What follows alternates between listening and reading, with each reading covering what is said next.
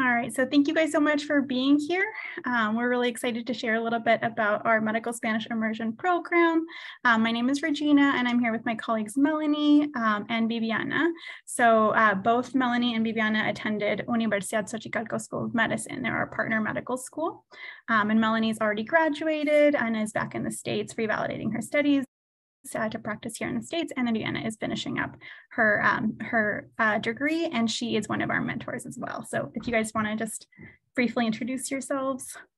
Yeah, hi everybody. Thank you for coming today and making time. Um, like Regina said, I'm Melanie. Um, I'm actually a UCR uh, alum. I studied neuroscience, and then after um, completing, yeah, um, and so after completing at UC Riverside, I went to um, Universidad Xochicalco um, and I studied medicine there um, and recently uh, graduated and I'm looking to apply to residency this year in neurology. Um, so any questions you may have about that, um, I will leave my information as well. But um, yes, so that's about me. and I'll hand it over to Viviana so she can tell us a little intro about herself. Thank you. Yes. Hi, my name is Viviana. I practically went to high school. I've studied my whole life in San Diego. I went to Southwest High School, um, a little closer to the border. Um, I knew I wanted to study medicine, but unfortunately, financial aid and my economic situation wasn't really an option that I could see doing it in the United States. So I tried to find anything close to home and I found Xochicalco, Universidad Xochicalco, which was an amazing school. I'm still there. I'm still finishing up my my degree there. I'm in my last year, but it's been an amazing time collaborating with different doctors from different countries as well. Um, everybody was really welcoming. I wasn't really strong with my Spanish, but with the school and all the doctors, they were really supportive and they pushed me to understand the language and right now, I'm also, it's also part of my plan to revalidate in the States. So I kind of did a little bit more differently, but hopefully it all works out. And that's a little bit about me. I will leave my information as well if anybody has any questions. Thanks so much, Viviana. Um, and so Viviana, is one of our medical Spanish student mentors. Um, so if you do our program, you'll meet a lot of current Xochicalco medical students and get to practice your Spanish with them. So she is one of our awesome mentors. Um, so just to introduce um, our organization, CENEU's mission is to build bridges across countries, cultures, and borders through education, and specifically to increase quality of care for diverse patients and Spanish-speaking patients by equipping both students and healthcare providers with the tools needed to properly serve the Latinx community. And we do this by offering trips, immersion programs, and courses through which we seek to facilitate mutually beneficial relationships for uh, participating students and healthcare providers to broaden the horizons and deepen the intercultural awareness of our participants by providing the opportunity to develop international connections, professional relationships, clinical shadowing experience, and research opportunities and projects in a unique way. So I always like to start off by um, talking about why this is necessary. So as you can see, um, the Hispanic population in the US is very large and only growing.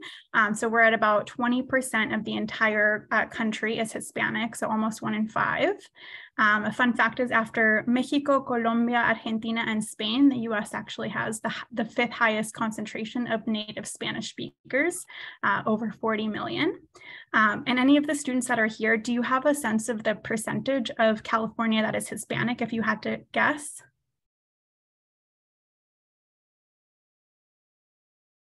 Diane or Sandy, do you have a, a guess? Sandy, Sandy 70. What was that? 70? 75. 75. Okay, so that's quite high. So I understand why you would think that living in Riverside, um, because in Riverside, um, it is, I believe, 30, 34, or sorry, Riverside County, it's 52%. In California overall, it's still quite high. It's uh, 38%. Um, and then in Riverside County, also 34% of um, folks speak Spanish at home. And uh, 38% of Spanish speakers in California self report on the census that they speak English less than very well. But unfortunately, we know that the percentage of providers who are able to provide culturally and linguistically appropriate care for this population isn't quite growing at the same rate. Um, so in 2018, Dr. Sonia Diaz from UCLA, she researched to what extent the Spanish speaking population in California vastly outnumbers the population of Spanish speaking physicians. So she found that in the greater Bay Area, there was only 3% of Spanish speaking physicians to treat up to 22% of the Spanish speaking population. In the San Diego area where San Diego was located, only 5% uh, of Spanish speaking physicians were available to treat up to 33% of the population. And then in LA County, only 5% of Spanish speaking physicians were able able to treat up to 47% of the population. Um, so, you know, language barriers are one example of a systemic equity and social determinant of health that leads to discrepancies in healthcare for marginalized populations. Um, and this has real consequences, such as during the pandemic, um, Latinos contracted COVID 19 twice as much as their white counterparts. They were almost three times as, like, as likely to be hospitalized and twice as likely to die. So a language barrier, of course, means that patients and providers can't communicate effectively and accurately. And this can be dangerous. Uh, we know that a lack of clarity and understanding leads to decreased confidence and also patient outcomes. Because when a patient can't fully describe what's going on with them and their symptoms, or they don't understand what the doctor is sharing with them um, and their medication and treatment plan, a lot is falling through the cracks. But on the other hand, uh, when doctors are able to treat patients in the patient's own language, the patient is able to make themselves understood and to understand the provider's explanations. Um, and so these patients report feeling more confident that they have a stronger relationship of trust with their provider. And of course, uh, this leads to improved patient outcomes too. So that is our reason for being, um, and that is why we partner with Universidad Xochicalco um, to bring these medical Spanish courses, trips, and immersion programs. Um, so just briefly, uh, Universidad Xochicalco is a university in the northwest region of Mexico in the state of Baja California, which was founded nearly 50 years ago, and it offers a wide variety of studies and degrees, including 14 bachelor's degree programs, 18 master's degrees, and a full medical school on each of the three campuses. So you can see visually here, we have the Tijuana campus, um, right by the border, only 30 minutes uh, south of the border, the Mexicali campus, and also the Ensenada campus. So that is where the immersion program is located. Um, and if you are interested in potentially uh, doing medical school outside of the US, um, that is an option too. So you can feel free to reach out to Melanie. I think she provided her email in the chat, um, or uh, Viviana to learn a little bit more about Universidad Xochicalco School of Medicine.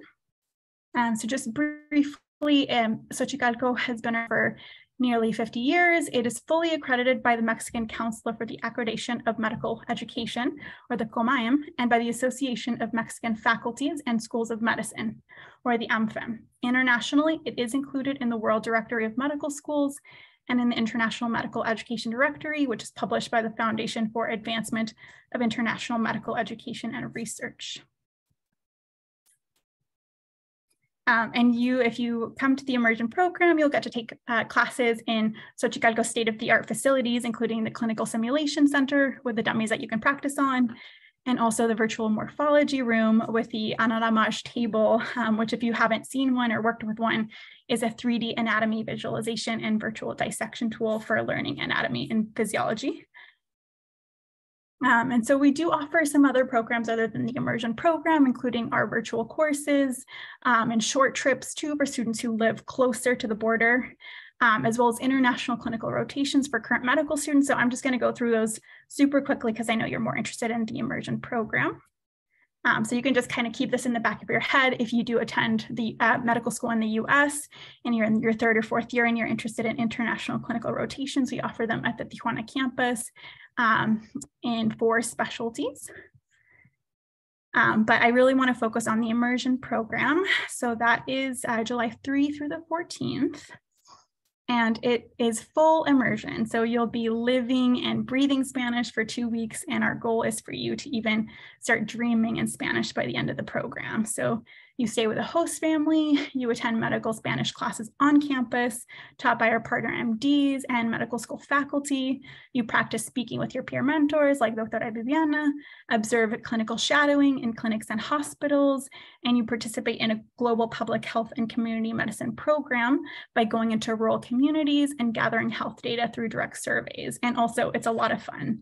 So, um, just some of these pictures, we have um, some of some pictures of Universidad Xochicalco's campus, um, also one of our partner clinics up at the top left. Um, the bottom left picture is out in the community during the community medicine program. Um, top right is one of our partner hospitals.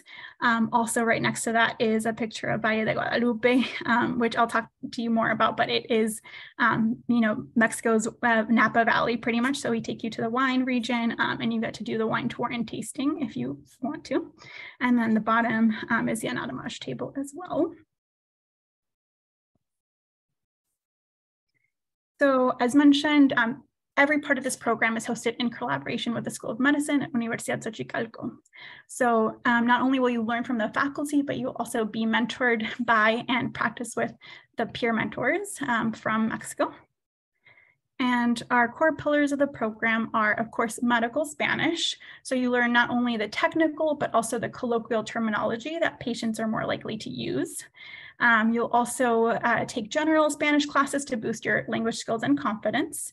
Um, research, so this is in blue because it's optional um, for students with a higher Spanish level. So if you come in with already either if you are a heritage speaker or you um, just have a higher level of Spanish and you want to link up with one of the peer mentors and work on a research project together, that is an option um, that you have available to you. And that also looks really nice on uh, a CV if you can show that you've put together a research project collaboratively um, with someone from another country and you've presented it in Spanish. Um, it's nice to add to your CV. Um, and if you, you know, really um, are working on a project that you're very interested in and you want to make, make it longer than the two weeks, you definitely don't have to stop once the program is over. You have that option to continue working with, um, whether you're working with faculty or peer mentors, you can keep working on that project. Um, community is also a very important part, and I'll talk to you more about the Global Public Health and Community Medicine program.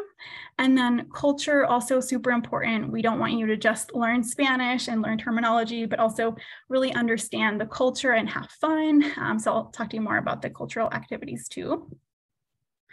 So um, before the program starts, we do assess each student's level um, using the CEFR language proficiency standards and group stu students according to their level. So the students that are more in the A1 to B1 range, um, they'll be taking general Spanish classes that focus more on syntax, conjugation, and speaking and understanding, along with the medical Spanish classes too.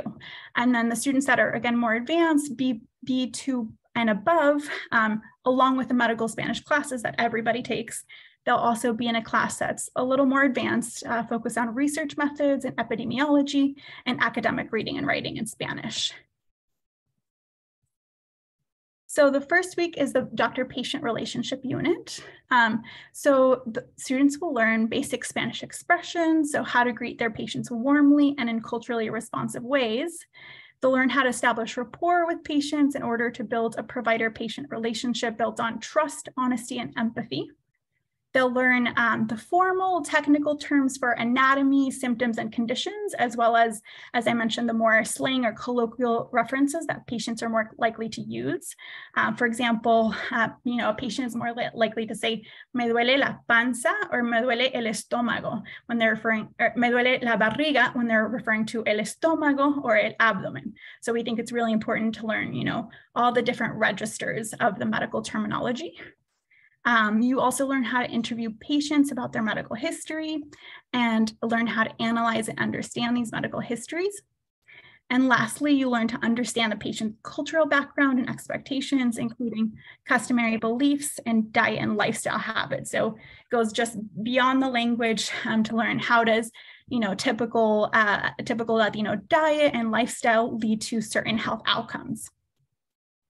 And then the second week is the patient conditions unit. So this is when students learn much more in depth about conditions, anatomy, and organ systems. So really going in deep into el sistema respiratorio, el sistema cardiovascular, digestivo, el sistema nervioso, endocrinólogo, and so forth. Um, you'll learn terminology regarding special patients like pediatrics and geriatrics. You'll learn to share diagnoses and treatment plans and also to communicate medication and discharge instructions.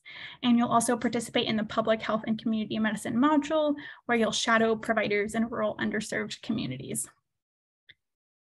So here are some pictures of our medical Spanish classes. So in the middle, we have our um, main instructor, Dr. Ortiz. So he teaches you everything for the first half of class, which is the theory part. And then the second half is the practice. Um, so that's what the rest of the pictures show is we uh, pair you up with the peer mentors, which are the Xochicalco medical students like Viviana. And, um, you know, our, our goal is to have one-on-one -on -one interaction, but sometimes the groups will be a little bit bigger, like one um, Mexican student with two or three American participants, but it wouldn't will never be too much bigger than that. So you always have that individualized attention. Um, and we often see this, you know, instant connection between our students and the mentors, since they're typically around the same age, they share similar passions and goals of becoming better providers. Um, and our mentors are super supportive and eager to share everything that they've learned um, throughout their medical education, and they're often curious to, to hear about how medical education and healthcare works in the US. So this leads to lots of interesting discussions, um, even beyond the practice sessions, and ideally leads to friendships as well. And that's what we love to see when uh, mentors and students become friends um, and still stay in touch beyond the program. And similarly with uh, host families, we love to see when um, participants and their host families are still in touch and really made that connection even after the two weeks. So here are some pictures of the, um, uh, the shadowing portion. So beyond the shadowing at clinics and hospitals, you'll also be shadowing at ferias de salud or outdoor community health fairs.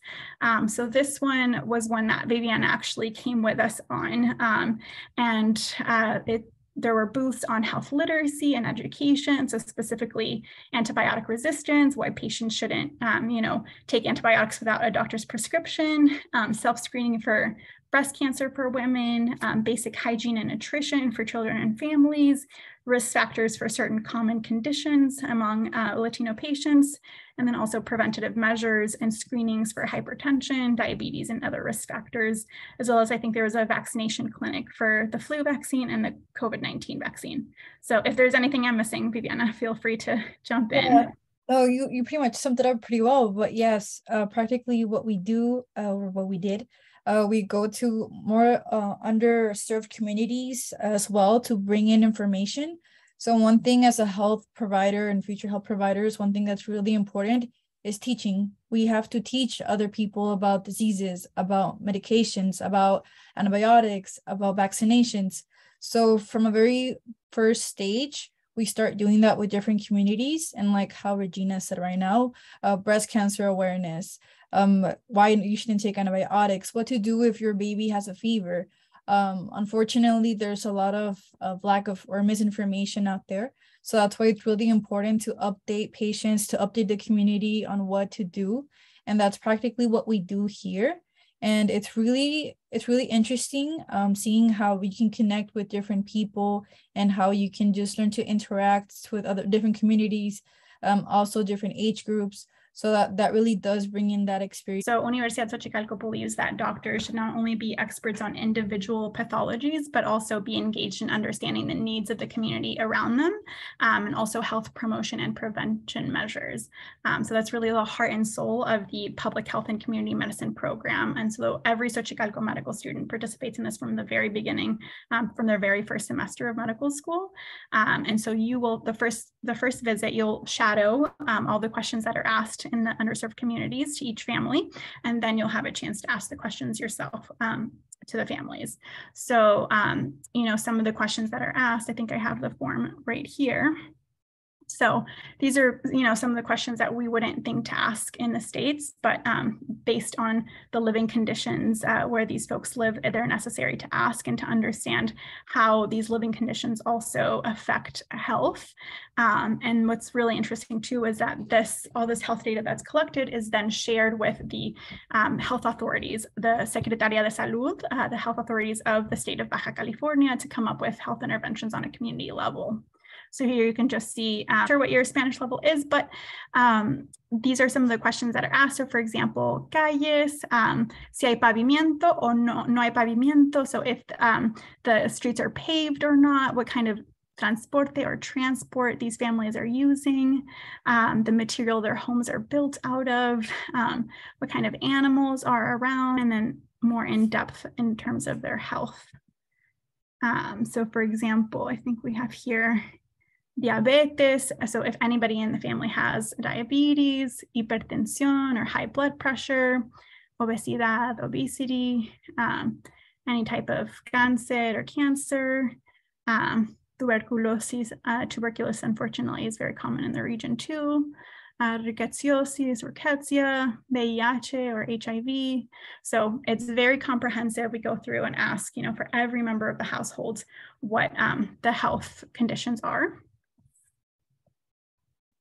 And then also, um, you know, alimentación diaria or what the uh, nutrition of each person in the house is, how many times a week they're having vegetables, fruits, um, and so forth.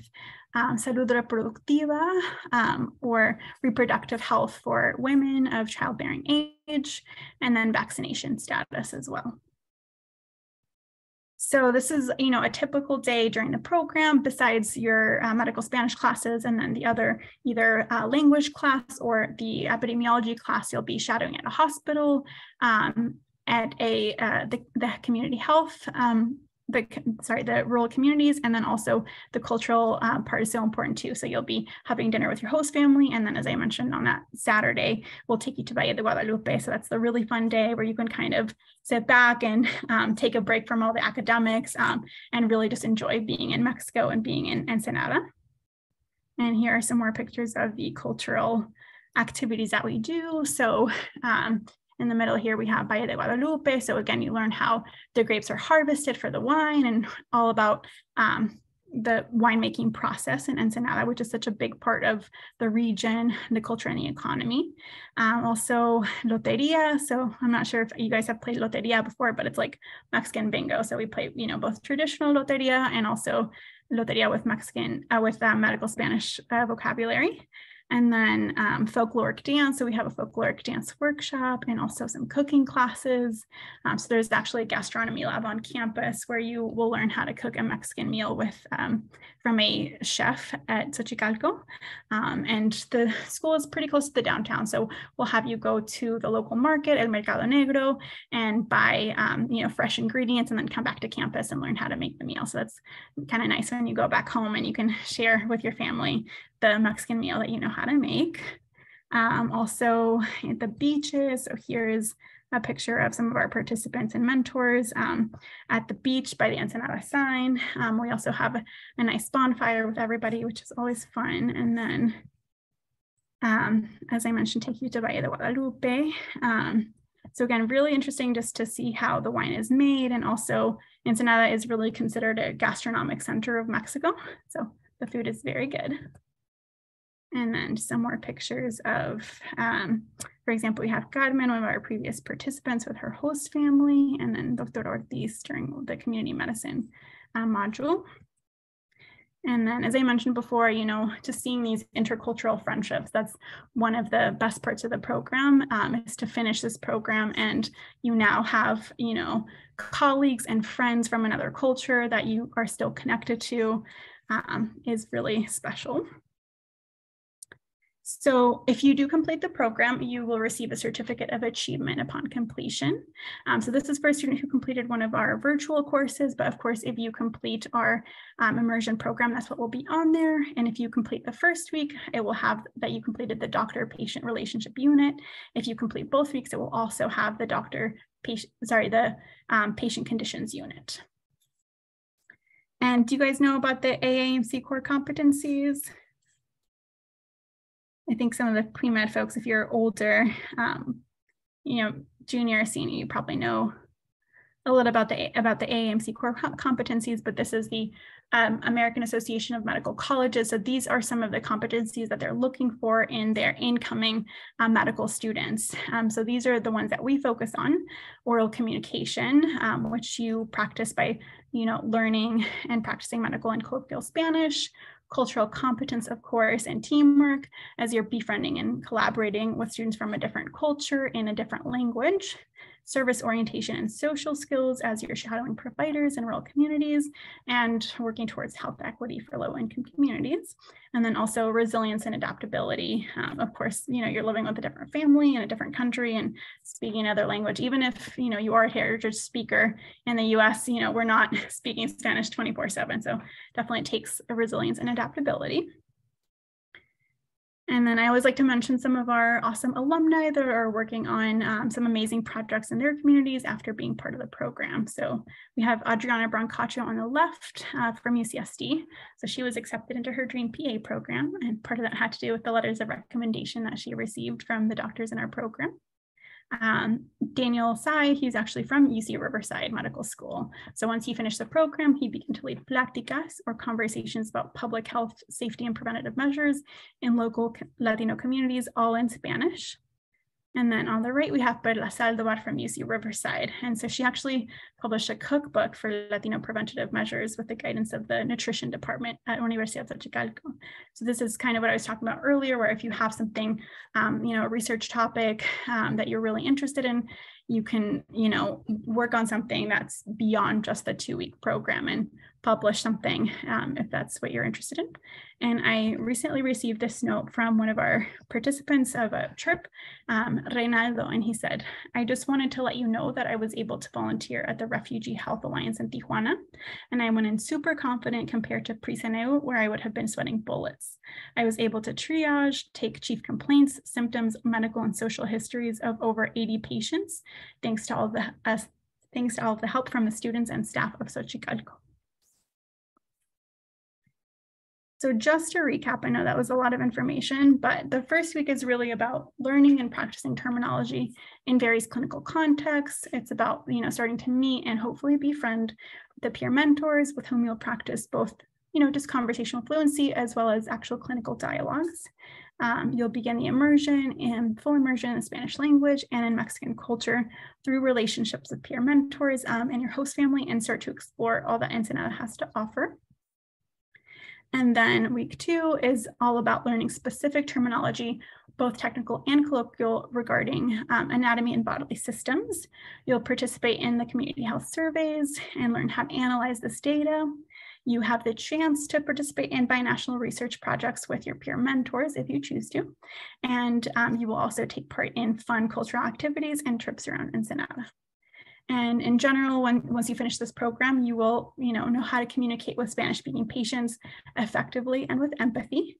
You will um, have had the chance to network, develop relationships with faculty and MDs, which also means you have the opportunity to receive letters of recommendations for whatever um, program that you're interested in. And you will have contributed to furthering health equity um, for Spanish speaking communities on both sides of the border. So the cost of this program, it does take a lot, a lot to make the program happen. We have over 30 participants in Mexico, including faculty, peer mentors. Um, so the cost is $1,200 a week, but it does include everything. And the nice thing about you guys being um, already in Southern California is that you don't have to book a flight. You don't have to pay extra, you know, to get to Spain or to get to South America. Um, not a lot of people have the opportunity to just drive down a couple of hours and be in another country.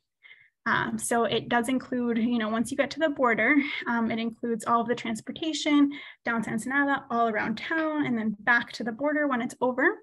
Also the family homestay, all the meals, um, the extensive medical Spanish student manual, workbook, and glossary, as well as all the classes and academic activities, including 35 plus hours of instruction, and also the public health and community medicine module with at least five uh, um, guided shadowing visits, including in the community, at clinics and hospitals. And then all the cultural activities as well that I mentioned, cooking dance workshops, the tour of Ensenada, the beaches, beach bonfire, um, and then uh, the winemaking tours and optional tastings at Valle de Guadalupe. Um, as well as a certificate of completion and pre-departure orientation and staff support throughout the entire trip. So we also have some um, partial scholarship options. So if you um, are willing to help, once the program is over, if you're willing to help um, the Mexican students practice their English uh, virtually, then um, you can take off $120 per week that you participated in. Um, so for example, if you participate both weeks, you would get $240 off and um, donate 10 hours of your time as an English mentor. If you participate just the first week, you would um, help out the as an English mentor for five hours and receive $120 off. Um, and we know even with that, it still can be hard um, to pay. So we do offer interest-free payment plans so that you don't have to pay all at once. You can pay through um, six months, I believe. So we really want to make this work for everyone. Um, and then some upcoming dates. So there's still a couple weeks for uh, the partial, you know, application with the partial scholarship. And then um, to apply for the program, um, the last date is June 20th. And then the program dates, the first week is July 3rd through the 8th, and then the second week is July 9th through the 14th. Um, and if you are um, interested in doing this or any other um, programs internationally, I definitely recommend to um, make sure that you have an unexpired passport. And if you don't, then um, to get that started so that you can have it in time for the program. Um, and then if you guys are interested in checking us out on social media, um, we have a lot more, you know, pictures of our trips and little videos. Um, so you can check us out at CENEU International. Um, you can reach out to me at regina at ceneu.com or check out our website at ceneu.com. Um, so thank you so much. Do you guys have any questions?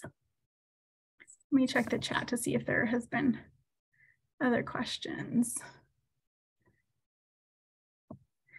But feel free, if any questions come up, um, to reach out, uh, Regina at ceneu.com with any questions.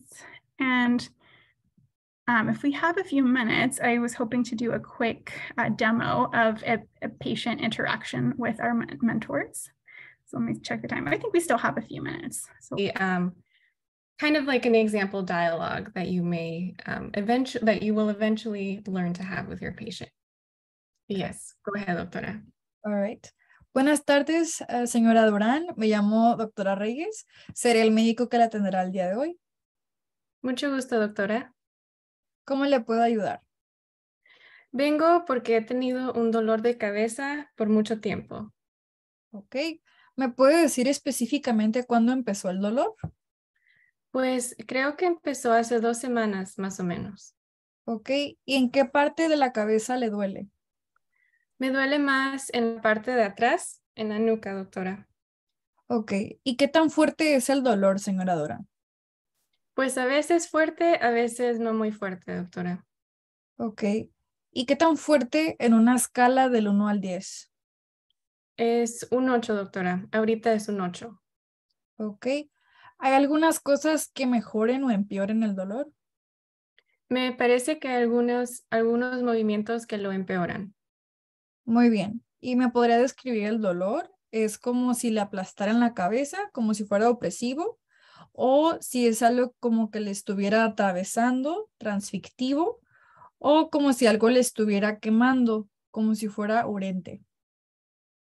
Eh, no, doctora, nada de eso. Más bien es un dolor que viene y va con el latido de mi corazón, como pulsátil. Comprendo, señora Durán.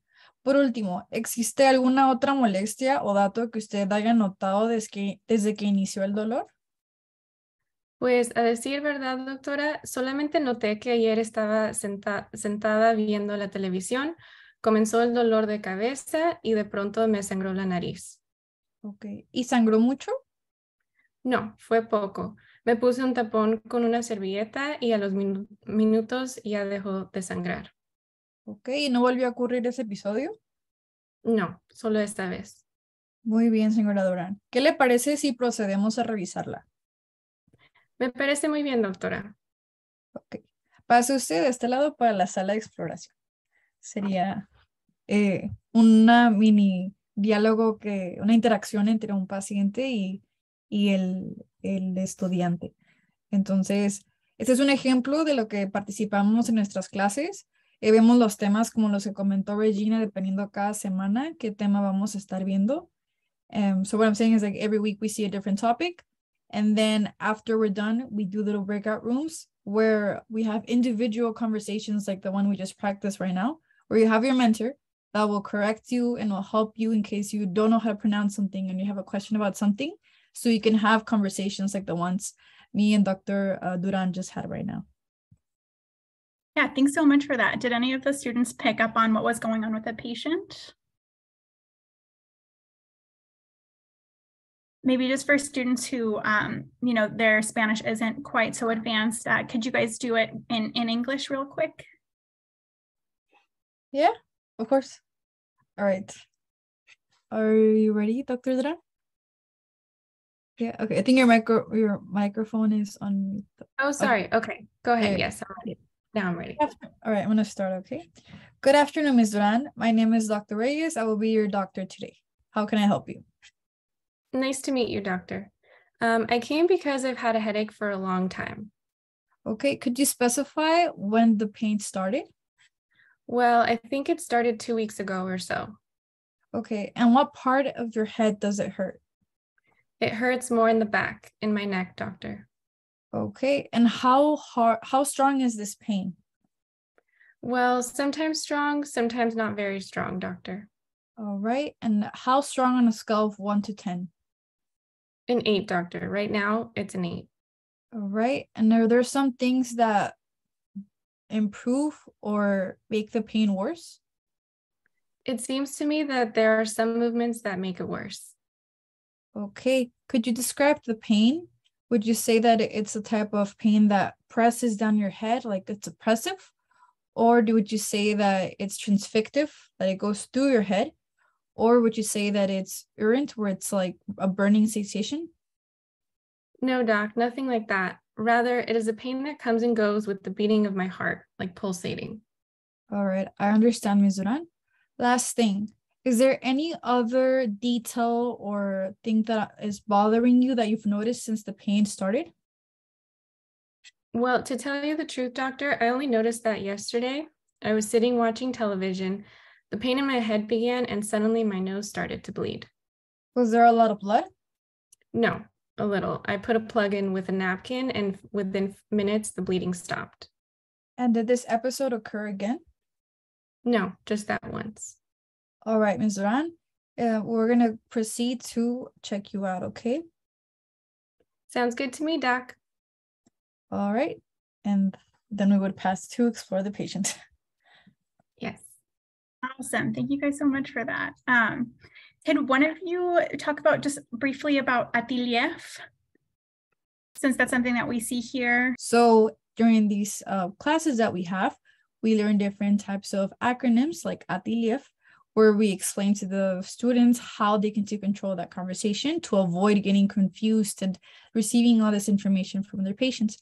So in this case, we would uh, follow the acronym, which would be A for when it started, aparición, T for time, how much time, cuánto tiempo uh, lleva el paciente con el dolor, how much time the patient has with the pain. I, which would be where it started, where the, the pain started specifically. L would be the location. Uh, the other I is for intensity. If you notice, I asked uh, from a scale of one to 10, how strong is the pain? And this is like a scale that is universally used in order to receive information from the from the patient of how bad it hurts. Um, e, if there's any any extra symptoms that are that are the patient could be feeling. If you notice, I also asked that. And then Dr. Duran told me that she was bleeding. So that would be another thing that could be asked. And if there's any like factors that influence this pain as well. So these acronyms, uh, these type of acronyms are the ones that we teach our students so they could dominate their conversations with their patients. Thank you so much for that overview, Viviana. Okay, great. Um, I don't know if anyone has Yes, somebody had a question about um, just general information about the host family, um, how many people, and um, just kind of a general, uh, more general sense of. So I'm just going to quickly explain to everybody. Um, and you can add Regina. You've actually like from prior programs, you know, any any of the, uh, their experiences, but I went with someone who didn't, you know, fully speak. Um, actually, she didn't speak any Spanish, so I accompanied her.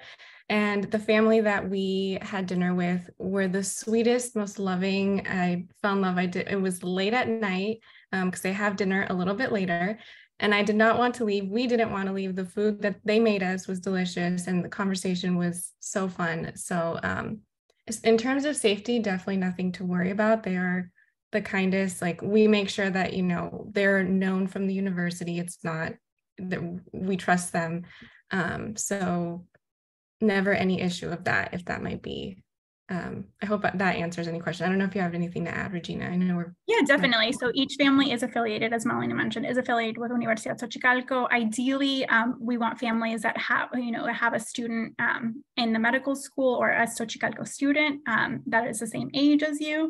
That's ideal, but regardless, every family is affiliated with Xochicalco, um, and we do, you know, different screening steps. So we do interviews with the family um, to make sure that they can, you know, take the student and and we visit the home to make sure that the neighborhood is safe um, and you know that there's enough space and um, you know just different things to, to make sure that it's going to be a good fit. Um, and then we just need to know if you have any uh, dietary restrictions or any allergies to, to, pets or anything like that or any preferences. Um, when i went and i had the host family experience too with a xochicalco family. She was actually um, the head of nursing at xochicalco and just the sweetest um, lady and cooked me the most delicious meals. And i um, because I am a bit big cat lover, um, I was placed with this family, um, this woman who had, I think, like over six cats. So I had a great time. And so, really, we just want to know kind of, yeah, any um, details about you and your, your preferences, restrictions, anything like that. Um, and that helps to pair you up with a host family. I don't uh have any further questions from um, that I received. So should I show the video now?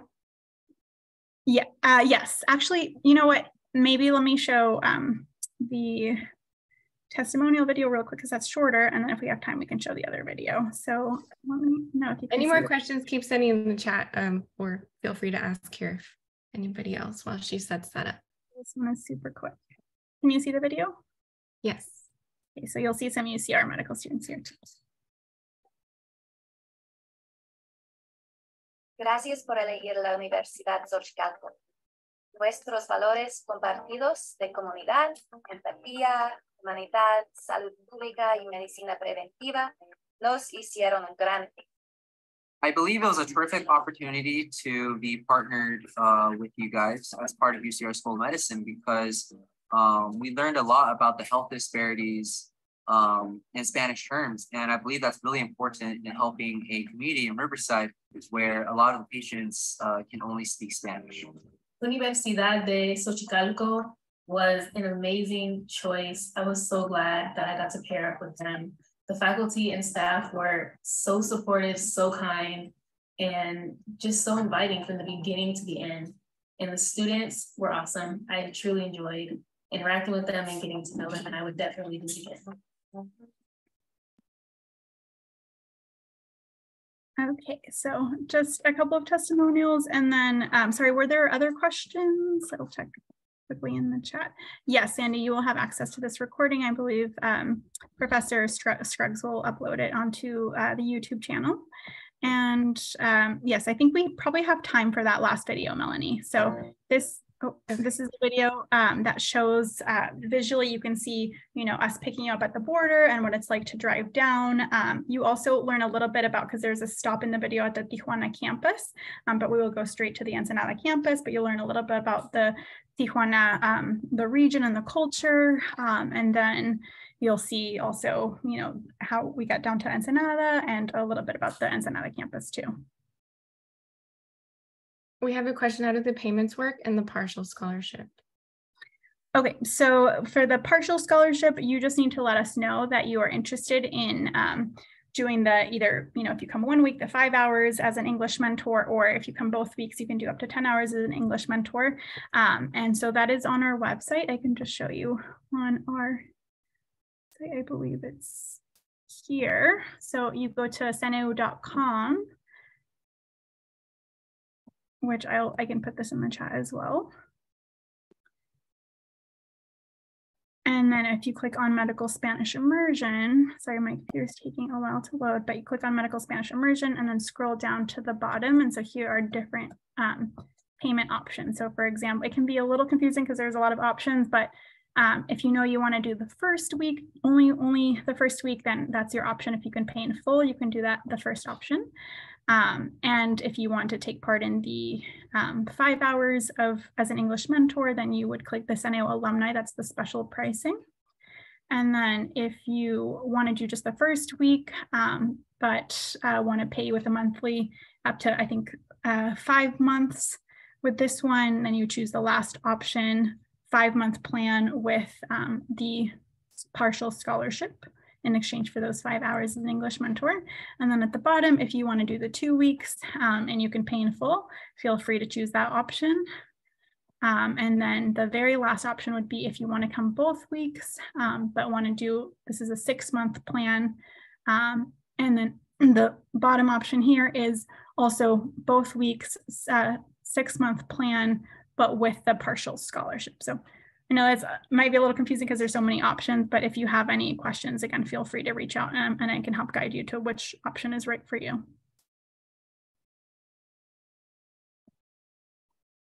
This has been great. Thank you.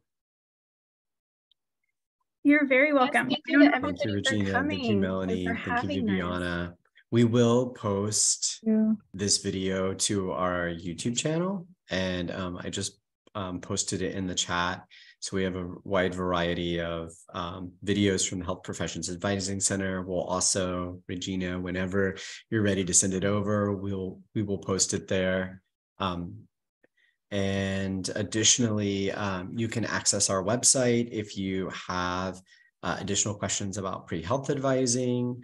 Um, we have a fairly robust website with information about um, health professions careers, um, this program, uh, how to get clinical community service, research experience, um, as well as course information, pre-health prerequisite course information.